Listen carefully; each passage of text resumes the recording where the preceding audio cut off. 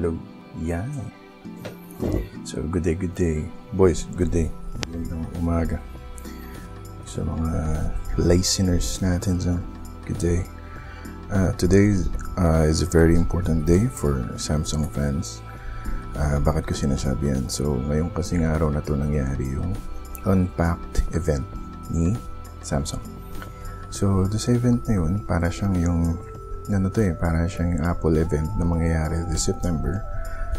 So, nag-announce si Samsung ng mga bagong gadgets, no? no most, most notably, notably, yung Samsung Note. So, in-announce sila yung Samsung Note 9 And uh, if you look online, meron ng mga reviewers na merong unboxing. So mukhang meron silang mga kanya-kanyang review unit. Napakaganda ng specs. And uh, oh, hindi ko talaga nire-recommend yung mga flagships unless meron kang enough money. Like you have extra money to spend. Napakasarap magkaroon ng flagship. Pero if not, uh, yun, uh, huwag kayong don't go into debt. Huwag kayong mangutang para lumakuha yung mga phone na to kasi una, uh, pangit na habit yun. Mangutang ka para sa luho. I, I'm not judging pero sinasabi ko lang, don't or try not to. Tapos pangalawa, um, marami ng mid-range na phone ngayon na nasa 10 to 17,000 na kaya kang bigyan ng ganong performance. And uh, recently umahabol na rin sila sa itsura department. So, uh, kayang-kaya na masatisfy yung mga ganong cravings. Pero, as stated nga, uh, iba pa rin talaga pag flagship. Iba itsura, iba yung lakas. So, discuss natin yung specs nito ni Note 9, no? So, si Note 9, meron siyang 6.4 inches ng screen. Walang notch. So, sabi ko nga, hindi ko trip yung notch. Maganda dito, wala siyang notch. Mas piniksi lang nila, mas pinipis lang nila ng konti. Uh, dun sa bezel, pero wala siyang notch. Yung bezels niya sa side, I've, I've watched one review. Medyo mas makapal siya ng konti kaysa sa S9. Maganda naman dito is if you have fat hands, fat fingers, uh, like me, uh, pag ginawakan niyo siya and you try to type hindi nagiging unresponsive yung screen. Kasi minsan yung extra fat sa fingers ko, uh, dumidikit siya dun sa screen and uh, pag nagtatap ako minsan nagiging unresponsive. So moving on, processor na Snapdragon 845, the best chip for now, for this year, 4,000 milliamps battery. Ito yung isa sa mga upgrades nila na excite ako Genuinely. Kasi 4,000 milliamps na sila. Hindi ka mukha ng Note 8 before. Note 8 kasi dati, pangit eh. Uh, okay lahat ng specs ng Note 8. Problema, baba ng battery. Result yun nung Note 7, di ba? Nung Note 7, sobrang aggressive nila sa battery.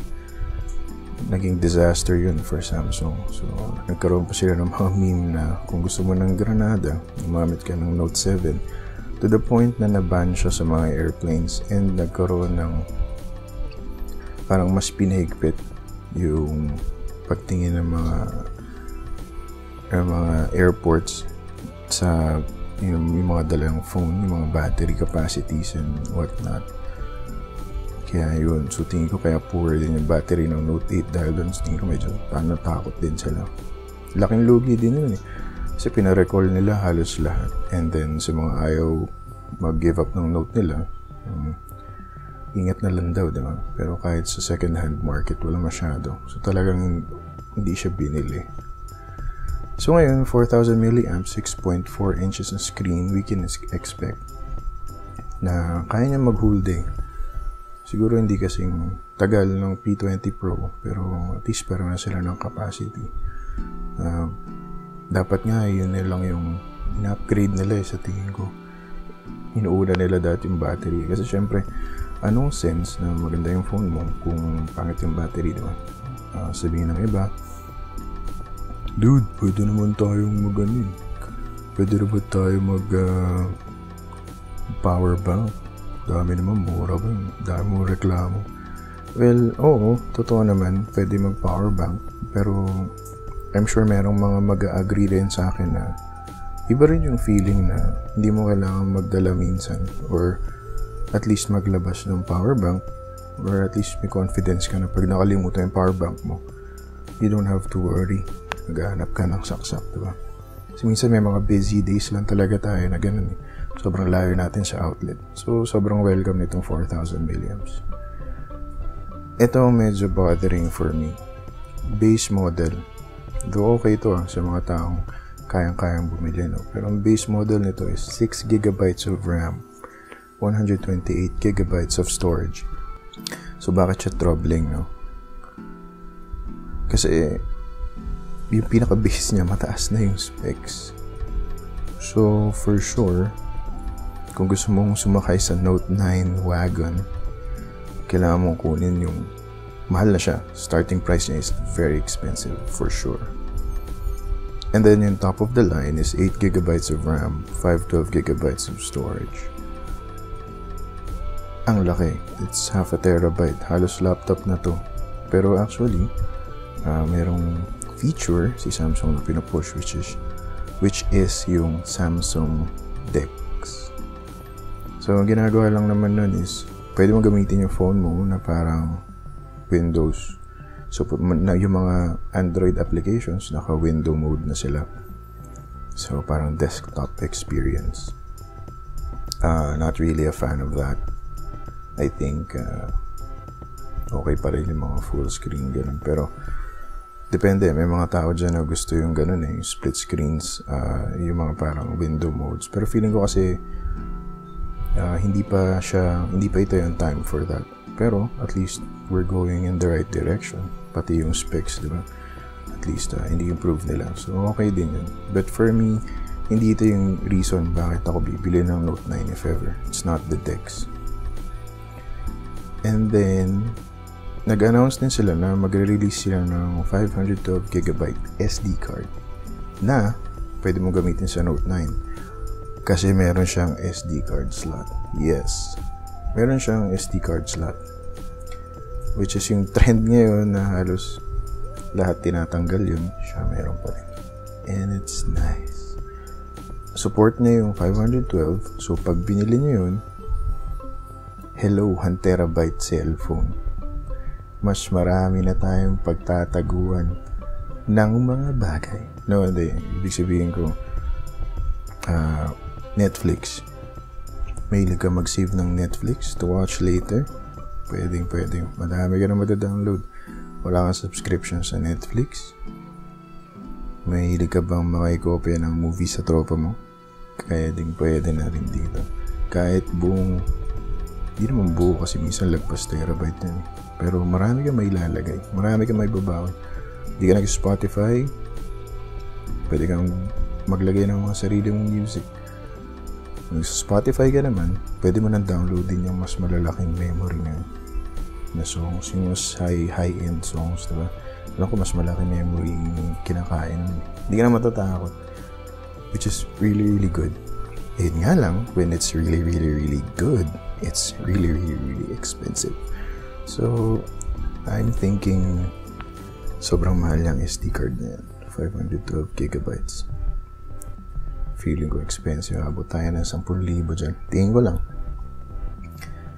Uh, ayun. Tsaka pag nawala yun, lit-lit, no? wala lahat ng files nyo. Saklap. So, ano pa ba? May speakers yung Note 9 uh, approved by AKG. Okay lang. Uh, usually, hindi ako na-impress sa mga ganun. Like, uh, may camera kami approved by Leica. Mga ganyan. Because, chinun lang naman siya ng company na yun.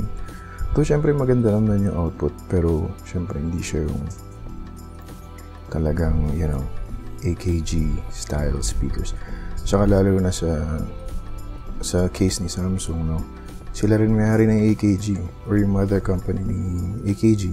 Sila may-ari. So, mas, eh, medyo mas madaling kumuha ng certificate. Diba? Alam naman natin yan, mga, mga, ano, panglusot-lusot boys, diba? Mga under the table. Sa kanila madali na yun. Kaya, for them claiming that hmm, wala masyadong bearing sa akin kung inano sila ng AKG. Pero sabi nila, uh, maganda raw yung tunog. Okay lang naman yun. Phone eh. Phone naman siya. Pero kung hindi kayo na-satisfy, kung hindi kayo na-satisfy sa speaker niya, I'm happy to report na pwede nyo siyang gamitan ng normal earphones. Bakit? Kasi meron siyang headphone jack. Wow! 2018 na 2018. Para sa akin, dapat di nga nila inaalis yun eh. Kasi dami pa rin peripherals na gumagamit ng headphone jack. Eh. Sayang lang. Parang feeling ko talaga to si Apple sobrang pauso eh. Pero sa akin, okay lang naman. Malaki rin naman benefit nun dahil nga mas may control kay over yung signals ano kaysa sa analog na 3.5. Pero, alam mo yun, minsan wala, ayoko na may dongle eh. Totoo lang. Kaya malaking plus din sa akin yan. Lalo na ngayon, daming companies, tinatanggal talaga yan. Tapos wala naman libreng adapter. Ay nako. Kaya pag nawala may adapter, bili ka ng bago. Kahit sabihin 150, 150 lang yun. Diba, ano, dalawang Turks din yun. Diba? Sayang. Pero to happy ako meron siyang headphone jack. Uh, gusto ko makita nito yung camera Diba? Usually naman, smartphone, ganito kamahal. Yung mga ibang specs niya, eh, okay lang. Pero, dapat yung camera okay din.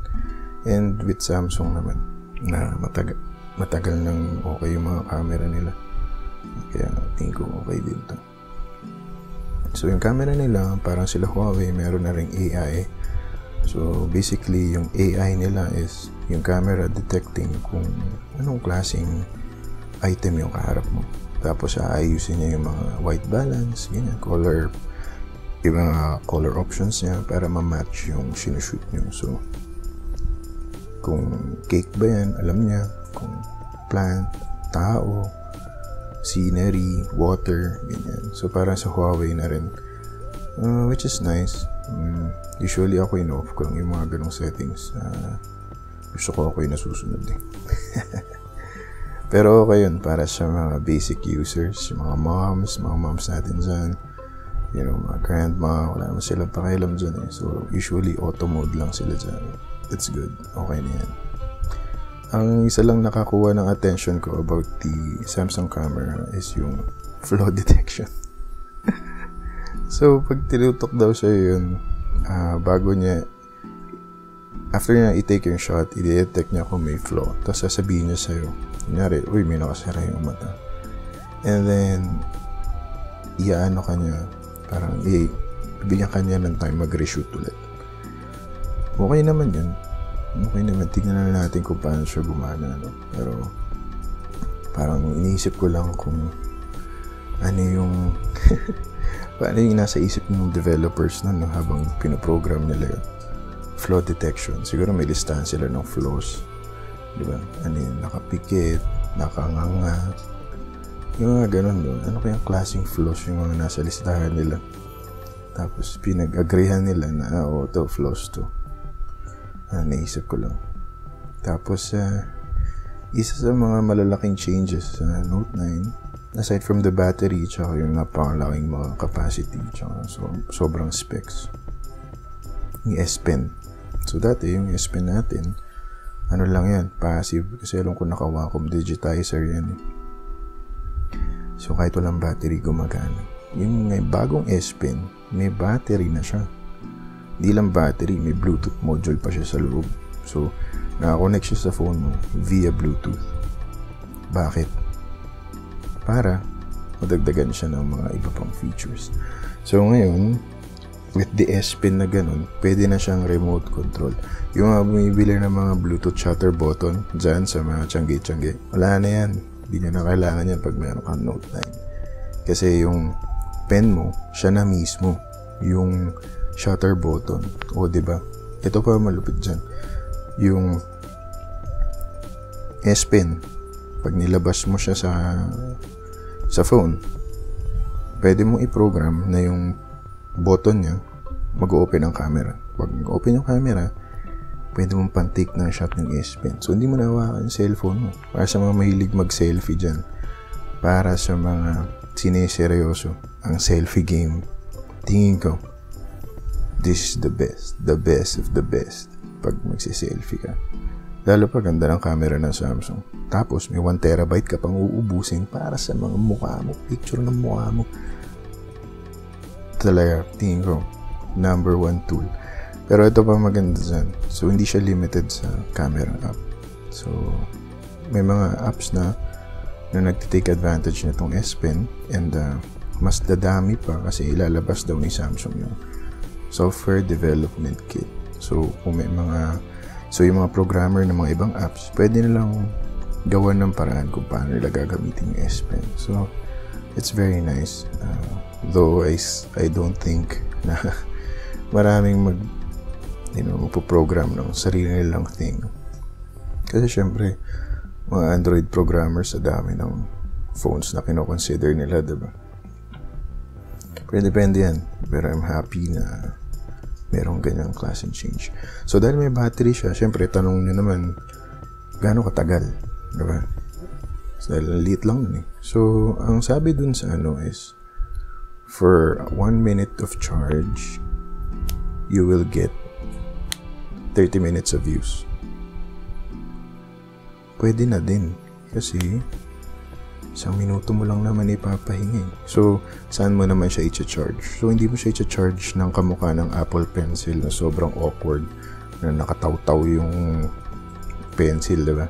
Hindi ganun. So, para ma-charge siya, nalagay mo lang uli siya sa lalagyan sa loob ng phone. Ayos. So, most of the days naman, hindi mo siya ginagamit. And then, pag gagamitin mo na siya, you can expect fully charged na siya, no? It's very nice. Tapos, uh, pinakita rin nila yung yung Samsung DeX. So, sa Pilipinas naman, I don't think marami sa atin gumagamit ng DeX kasi usually pag uwi natin, either hindi na tayo pupunta talaga sa computer or kung nasa computer man tayo, we use the computer. Diba? Hindi pa talaga napupush yung ganong thinking na the phone is the computer. So, yung sa western kasi hindi pa nila masyadong ginagawa lalo pa dito, di ba? So, yung DeX, ang mangyayari lang doon is meron kang kakabit na USB Type-C papunta sa HDMI tapos kabit mo siya sa TV na or monitor na may HDMI and then lalabas na ng phone mo yung DeX interface which is para siyang Windows Windows uh, and iOS na PC na naka-window mode lahat ng yung lahat ng mga apps mo. Diba? Okay naman yun. Ano naman problema. Pero yung nga, sabi ko, wala pa masyadong gumagamit. And yung nga sa Tab S4, parang feeling ko, lagi. Diba? Yun yung, mga implement, yun kasi yung problema kay Samsung minsan eh. Parang mag introduce sila ng ganyan. Tapos, after ilang years, kakalimutan. Pero, props naman dito kay Dex, ano, kasi nasa 4 years na siguro to tinutuloy pa rin yun. So, mukhang uh, meron talaga silang gustong puntahan dyan. So, syempre, dahil ine-expect nila na na ano, talagang gagamitin nyo to the limit itong Note 9. Hindi lang for productivity and for sure sa games din, di ba? Uh, meron siyang water carbon cooling. So, uh, expect natin na hindi siya ganun kainit. No? Dahil meron siyang heat pipe sa loob.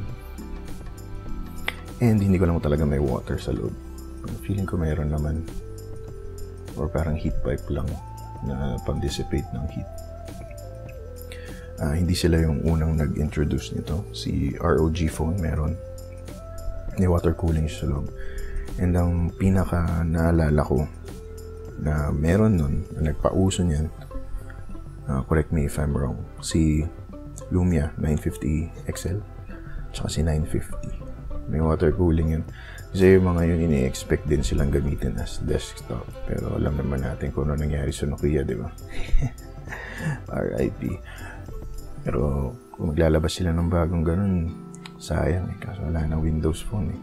Parang Blackberry. Ay. Ayun, so, aside from that, uh, in-announce din nila yung bagong Fortnite. So, mukhang wala na advantage ni Apple devices. Uh, mong darating na si Fortnite sa Android in a month's time.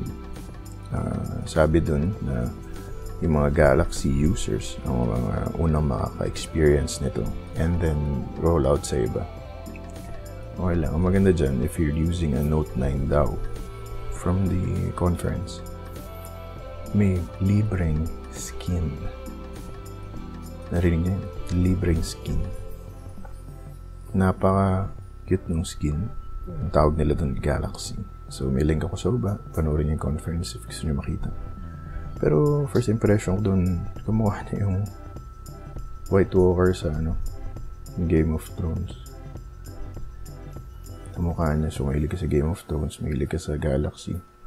Note 9 ka na, di ba? Tsaka Fortnite. So, yun. Yun ang mga, yun ang specs and comments ko regarding Note 9. Ang nakikita ko lang dyan, uh, parang okay siya. Uh, potential next phone. Diba? For me, sa specs, uh, just looking at the specs, mukhang pwede. Uh, hindi, ganda naman specs. Kaso, dito na tayo. May nakita akong price. Sabi, dun sa price,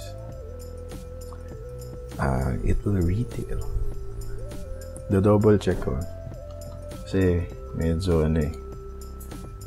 Uh, ayaw magsalita ng mali dito eh. Galaxy Note 9 price. Kasi may nakita ako, sobrang taas ng presyo. Hindi ko lang alam kung yun yun yung ano. Ito na. sobrang ridiculous talaga. So, I got the price from Yugatech. Pakinggan nyo. So, ang presyo natin dyan. For the base model, drum roll, 55,990 pesos for the 6GB and 128GB configuration.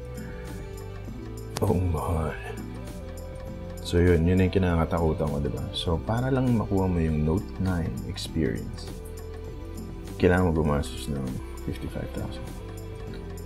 Eh, paano kung gusto mo yung half a terabyte configuration, 8 gigabytes of RAM? Ready na kayo? 76,000 pesos. 700, 75,990 pesos. iPhone 10 territory. Well, mahal. Pero, para sa akin, mm, okay naman compared dun sa iPhone 10. Mo mas marami naman tong mas worth it naman siguro to. Pero yun nga, eh, for me kasi, ganun kamahal. Ito, in cont- contrast lang para sa mga ano, mga nakikinig ano. Sa 75,000 pesos, pwede ka na makabili ng gaming laptop na nasa, na may GTX 1060. So, kung bibilin mo yung Note 9 for gaming, bumili ka na lang ng gaming laptop. So, tapos sabihin niya naman siya, maganda yung battery life. So, I'm buying it for the battery life. Well, merong 50,000 milliamps na battery pack na meron pang saksakan ng electric pan at 7,500. A Snapdragon 845. Well, tingin ko may mga OnePlus device na Snap 845 na rin. Pero nasa 30 lang. Mga 27 na nga lang. Di ba? Yun nga yun. If you don't have money. So, for me, conclusion ko lang. Uh, for me, if you don't have the money, uh, pang- pangarapin nyo na lang si Note 9. Huwag kayo maumutang. Kasi sa 75, 55,000, mas marami pa tayong bibili dyan, guys. Daming mid-range phone ngayon, Fortnite, PUBG. Sa 55, may gaming laptop ko I think some of you will agree. So, pero, kung, kung, kung may pera lang ako, and, if infinite yung pera ko, kukunin ko to, syempre. Wala namang kaso yun. Kasi, napakaganda eh. Pero hindi ngayon. Hindi ko siya kukunin ngayon. Antayin ko muna yung announcement sa September. And I suggest na kung bibili rin kayo ng phone, antayin nyo na lang din yung announcement sa September. Kasi September, ang rumors is magkakaroon ng Apple event. So, meron din tayong, meron akong podcast news regarding that, discussing that. So, if you want to listen to that, uh, may link din ako sa baba. So, pakinggan nyo na lang doon. Pero, yun nga payo ko, for anyone wanting to buy gadgets, uh, hold off muna kayo. Tiis muna, ipon muna. Kasi, patapos na yung year. So, yung mga tao, nag-announce na silang lahat gusto talaga nilang i-take advantage ng holiday season. And yan suggestion ko sa inyo. Kasi pag bumili kayo ng luma, sayang. Bili ka ngayon, iPhone 10. September, mag-a-announce sila ng tatlong bago. Sayang. So if you want uh, if you want uh, to listen to what I what I think regarding yung Apple launch, uh, click the link below. So dun sa, so going back dun sa event, ano, dun sa event, aside from the Note 9, nag-announce din sila ng smartwatch. Bago smartwatch, na may SIM card. well, wala akong masyadong pakialam sa smartwatch eh. So, pero kung gusto nyong marinig yung thoughts ko dun, uh, comment kayo. So, gawa tayo ng segment. Meron silang wireless charger duo para sa phone and yung watch. So, pag nirelease nila to naunahan pa nila yung Apple. Kasi parang matagal na pinapromise ni Apple yan. Smart home. Ito wala akong pakialam eh. Sa smart home. Kasi una-una, hindi pa naman uso dito yung smart home. Siguro may mga iba-iba dyan. Dito kasi parang wala pa akong nakikita masyado.